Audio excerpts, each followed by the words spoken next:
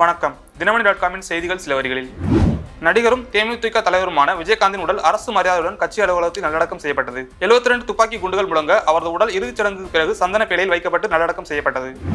சென்னை தீவுத்திடலில் வைக்கப்பட்டிருந்த விஜயகாந்தின் உடலுக்கு பொதுமக்கள் கண்ணீர் மல்க அஞ்சலி செலுத்தினர். தீவுத்திடலிலிருந்து கோயம்பேட்டிற்கு கொண்டு செல்லப்பட்ட அவரது உடலுக்கு சாலையில் இருபுறங்களிலிருந்து மக்கள் தங்களது அஞ்சலி செலுத்தினர்.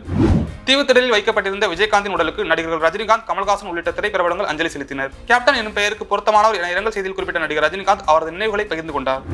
அயோத்தியில் நடைபெறவுள்ள ராமர் கோயில் திறப்பு விழாவில் பங்கேற்பது தொடர்பாக சரியான நேரத்தில் முடிவெடுக்கப்படும் என காங்கிரஸ் பொதுச் செயலாளர் ஜெயராம் ரமேஷ் தெரிவித்துள்ளார். இது தொடர்பாக பேசிய அவர் ராமர் கோயில் திறப்பு விழாவிற்கு காங்கிரஸ் தலைவர்கள் மல்லிகார்ஜுன கார்கே சோனியா காந்தி ஆகியோருக்கு அழைப்பு எடுக்கப்பட்டதாக குறிப்பிட்டார்.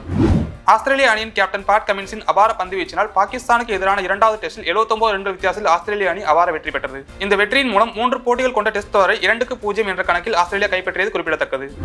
பிரபல பாலிவுட் இயக்குனர் ராஜ்குமார் கிரானி இயக்கத்தில் ஷாருக் கான் நடித்த டன்கி திரைப்படம் இதுவரை ரூபாய் 305 கோடி வசூலித்துள்ளதாக படக்குழு தெரிவித்துள்ளது. கடந்த டிசம்பர் 21ஆம் தேதி வெளியான இத்திரைப்படத்தில் நடிகர் ஷாருக் கானுடன் நடிகர்கள் டாப்ஸி விக்கி கௌசல் என பலர் நடித்திருந்தனர் என்பது குறிப்பிடத்தக்கது.